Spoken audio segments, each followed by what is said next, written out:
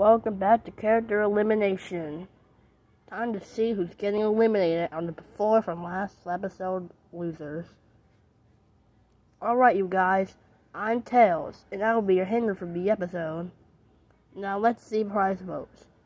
The prize goes to Tree, Immunity, and the elimination votes. Tree, Peter, and Quack all got zero votes. So Anglosaurus with four votes, you're eliminated. Wait, what? Why am I eliminated? Probably because you've been late during the challenge.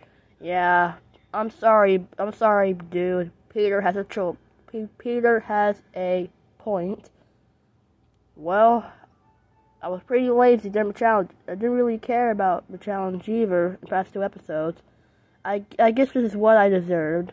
Yeah, pretty much. Alright, come with me. Any last words before you enter the hotel? Yes. I hope I can be, I hope I can be in the game next season. Hey guys. Oh, I was Rampage a part of this? Did he get you out too? I was being lazy, but yes, Rampage got me too as well.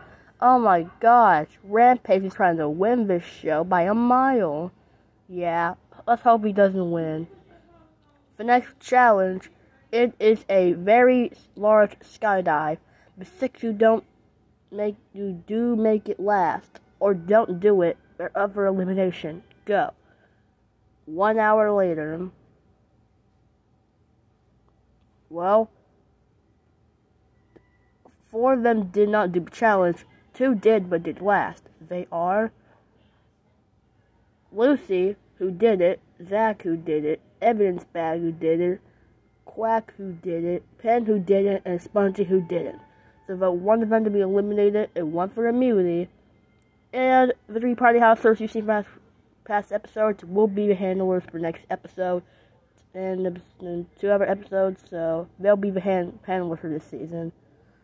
So, thanks for watching the video. I'll see you.